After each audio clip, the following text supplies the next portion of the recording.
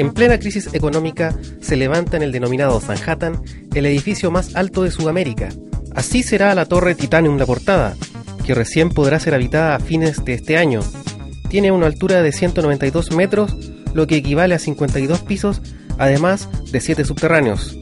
El arquitecto Abraham Zenerman, encargado del diseño del primer rascacielos de Chile, cree los proyectos de gran envergadura.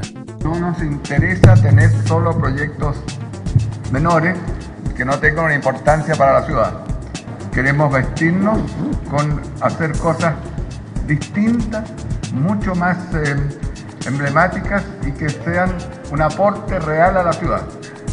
Zenderman desmiente alguna rivalidad con el empresario chileno-alemán Horst Paulmann, dueño del holding Cencosud, creador del suspendido edificio Costanera Center. Nosotros nos hemos empeñado, tanto a él como nosotros, en, dar una muy buena visión del país diferente. El arquitecto cree que la crisis económica no es excusa para no continuar con este tipo de proyectos.